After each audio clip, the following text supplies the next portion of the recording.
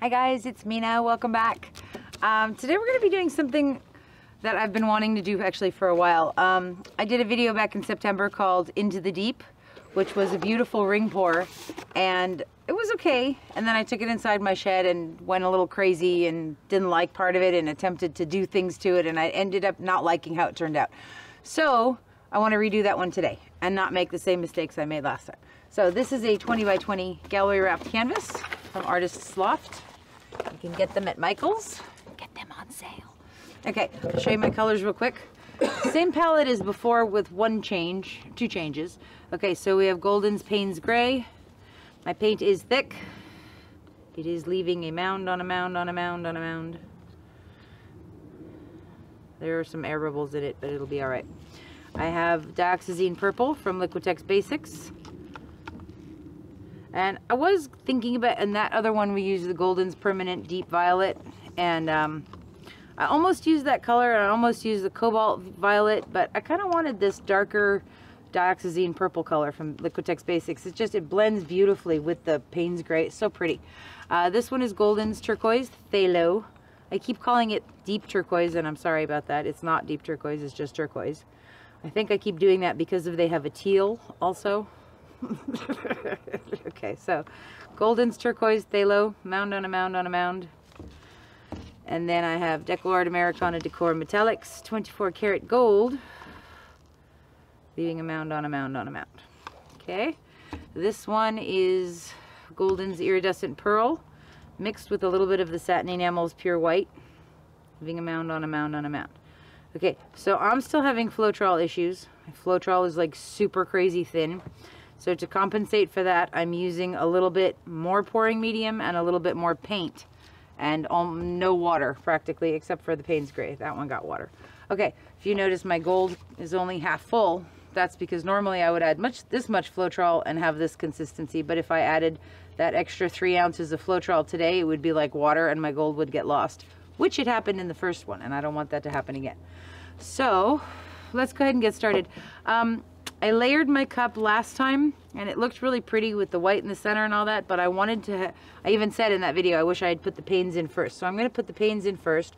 I also didn't use purple in like most of the cup. I just put a little bit at the top so it would be on the end and most of it got tilted off. So we're gonna actually use it throughout the whole pour this time. So let's start. I wanna start with a little bit of the Payne's Gray, just a little bit. And then I want to put a little bit of turquoise in there. So this is going to be what's in the center of our canvas. A little bit of gold. Okay, I have two cups of white. One of them is thinner, so I can use it as a flow extender in a background. So that one has two sticks in it. This is my white that I'm using for the pour.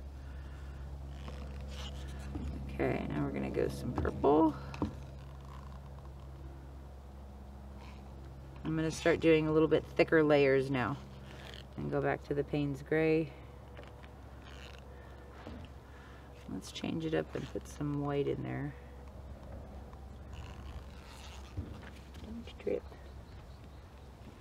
and we're going to go turquoise.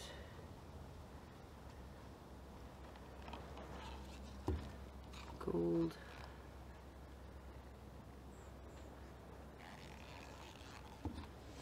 purple. And I wanted my paint on the thicker side because we're doing a ring pour, so I want it to hold its shape.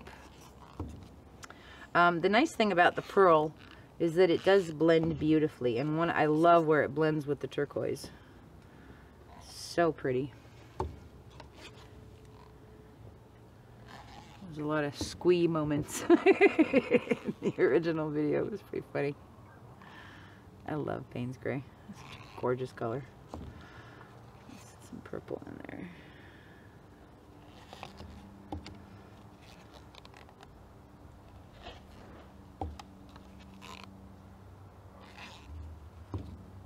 Some turquoise. Okay. So, we have that ready. Um, I'm not going to put down a base coat. I'm just going to put down a puddle of my white. Are we here, let me move these over.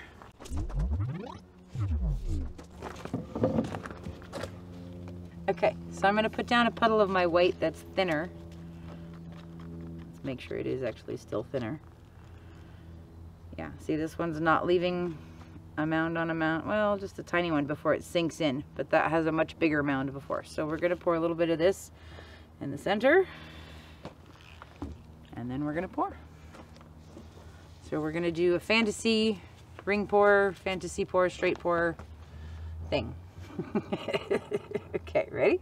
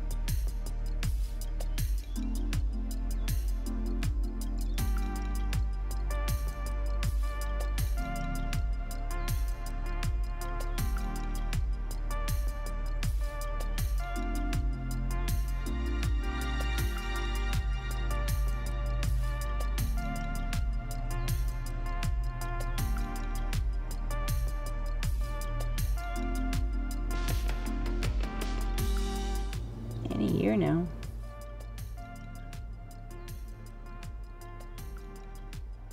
Still coming out. See, there's the Payne's that we had at the bottom.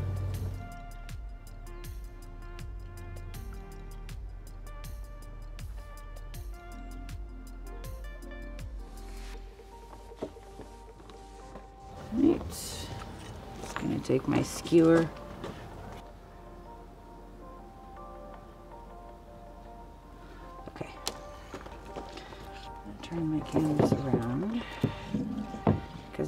It likes travel. There's beautiful rings in there though. Whew, okay, I'm gonna get a little tiny cup. I'm gonna put some of our gold in it. And we're gonna thin it out just a tiny bit.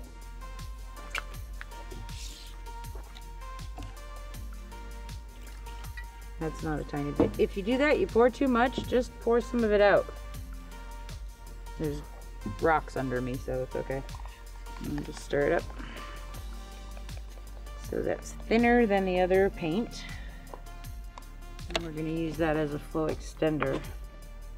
Push it back down where it's supposed to be.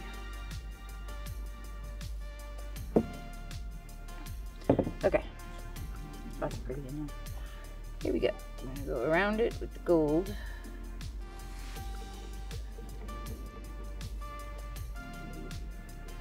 So if our paint rolls over this layer of gold, this is the Deco Art Americana Decor Metallics in the 24 karat. Hopefully it'll make some beautiful cells for us. Okay, that's good. This seems a little thick.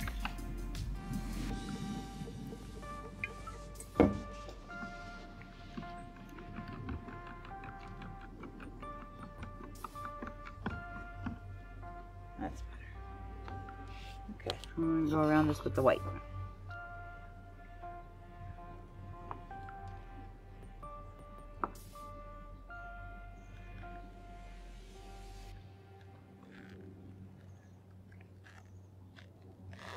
Okay.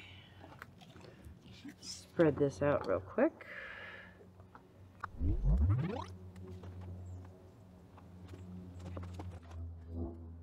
All right.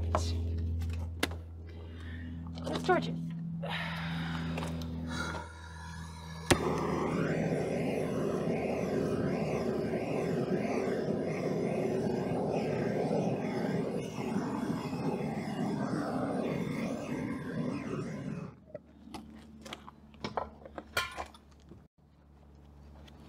Okay. Let's see which way it wants to go.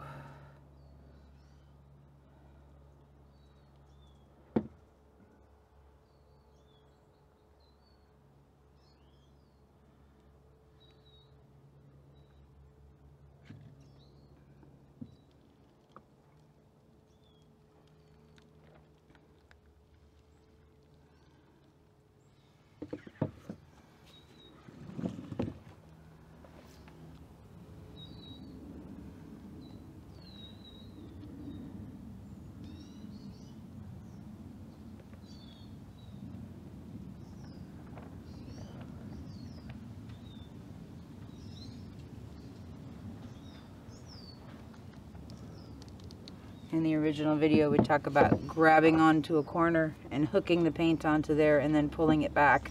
And that's what opens it up. I'm gonna actually do it one more time so you can see and get some of this off the corner. So you go towards the edge, nice and slow.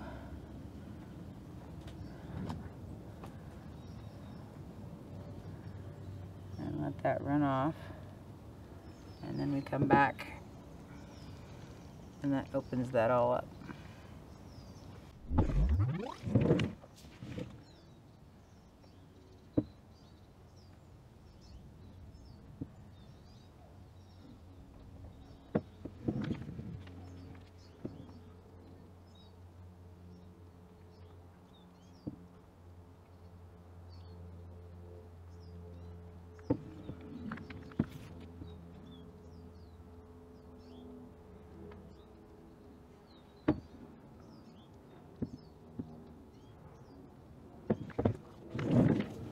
Still a lot of paint on here. See how fast that's moving? Take some of that off of the bottom.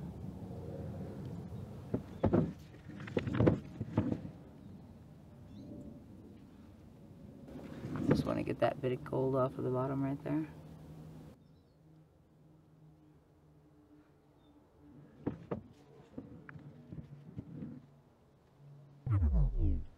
Okay. So that's pretty cool. Um, the original one had a lot more white in it, which I kind of liked. The center is a bit dark on this one, but we put Payne's Gray in the middle. So I think what I actually want to do is just pour a little, maybe let's see what's still in my cup. I'm just going to pour a little tiny bit of white in there. Like maybe half a teaspoon some gold. If there's any gold left, which there's not, but that's fine because that's the thinner one anyway. All right, let's just do this little bit of white. Here's your gold. Okay. I'm just gonna go right in the middle of this.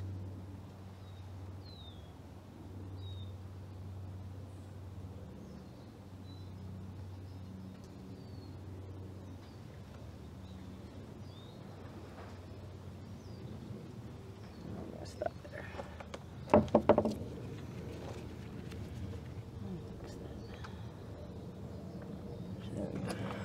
Okay, that's cool.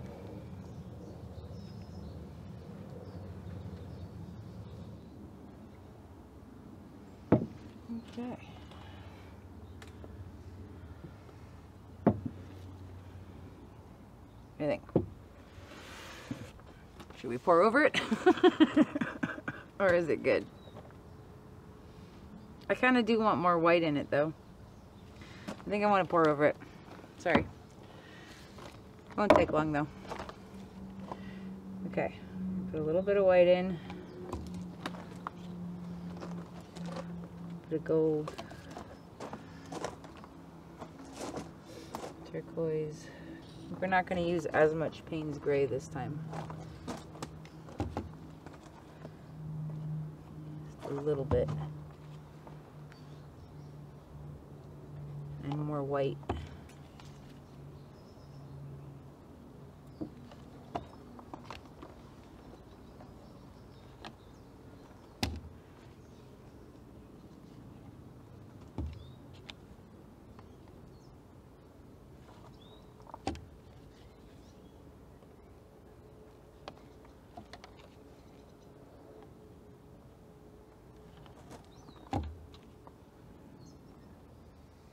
Okay. Here we go. Ready? In the center.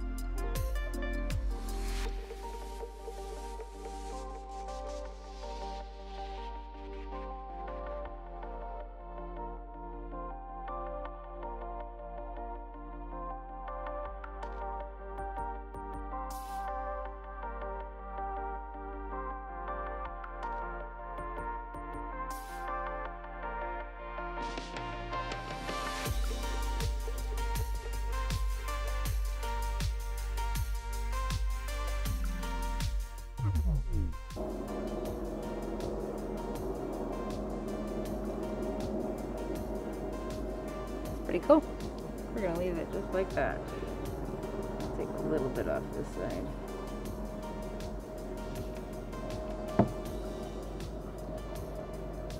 Right there. Gonna leave that right there. I like it. Let's go. So, this is deeper into the deep.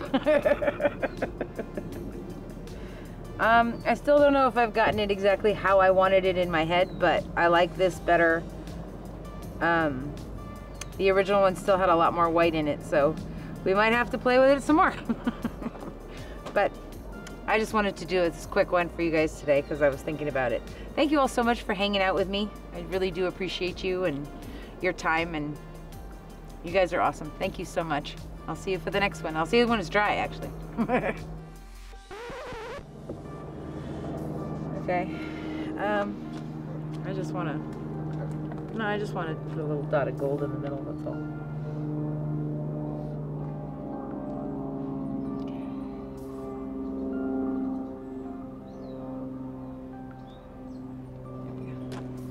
See? There's a little heart. You got a heart on it.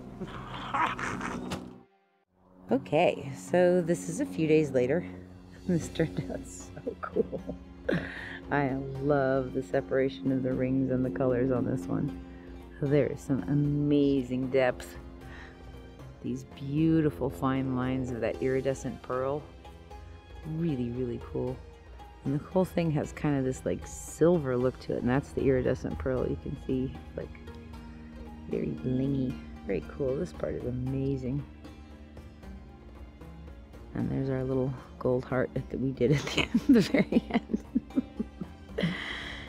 Just silly sometimes, but I like it in there. It kind of reminds me of one of those um, Irish wedding rings, the claddagh, with the, the two hands holding the heart.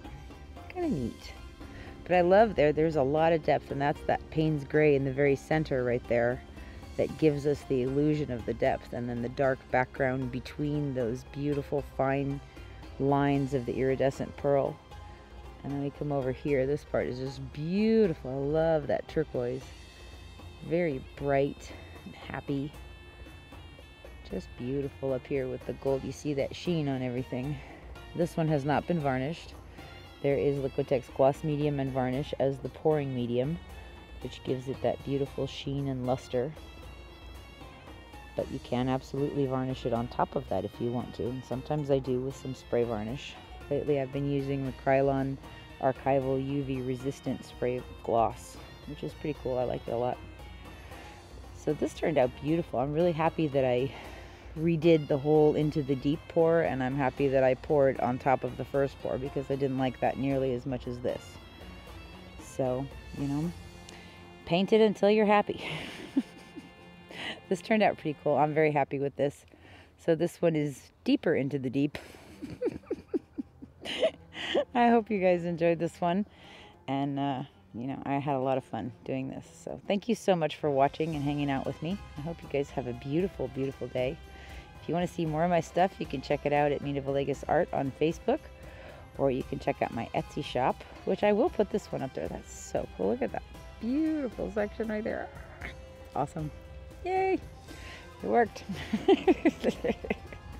so this was cool. And the reason that I redid this one was the original pour of Into the Deep. I, I liked it, but I didn't like the center very much. And when I took it into the drying shed, I messed with it and did things to it and unmentionable things. and uh, I, in my opinion, I wasn't as happy with it. It still turned out cool. It just wasn't what I wanted. So I really wanted to redo it again, and I'm glad that I did. And I'm glad that the center on this one is much better and definitely has that illusion of depth, which was the whole point of Into the Deep in the first place. So thanks for watching, guys. I'll see you for the next one. And we will be doing the constellation ones. I just, I have to paint more of them first. So I'll see you guys soon. Bye-bye.